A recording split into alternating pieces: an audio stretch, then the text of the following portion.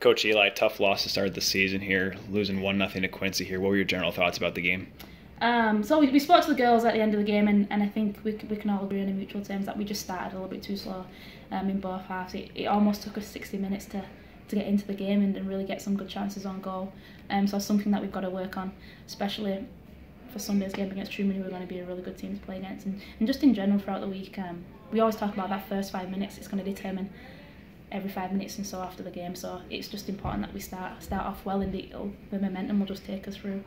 No question, this is a really young team with six freshmen on them. You played all six today. You started five of them. How do you think they did today? Um, freshmen did really well. It's it's tough um, in terms of intensity wise. I think we've we've only played one game um, so far, and that was against Hope in a scrimmage, and and other than that, they haven't really felt the intensity. Um, I think there's a couple of freshmen that played really well. I think Sam goalkeeper. She made some good saves. She didn't have to do too much, um, but the saves that she needed to make were, were well. Very good distributing at the back, and then I think uh, Reagan Heinz, our, our centre back, was phenomenal. Um, and, and for me, was the player of the match.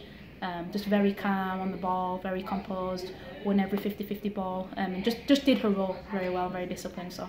Do you think having her with Bosworth, having the senior and the freshman, kind of help help them kind of feed off each other in a match like this?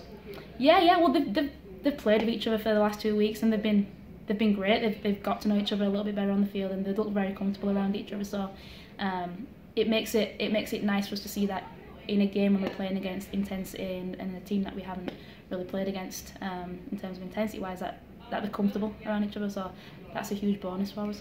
So obviously, talking about another tough match here, you have Truman State, who is yeah. no tough cookie. They're playing a game up in Big Rapids right now, a really tough team, and against the Bulldogs, they're going to come down. They went 14-4 and one last season. Definitely have a lot going on into this season. What do you expect out of them, and what does this team need to do in order to prepare for that game on Sunday? Yeah, so um, we played Truman last year.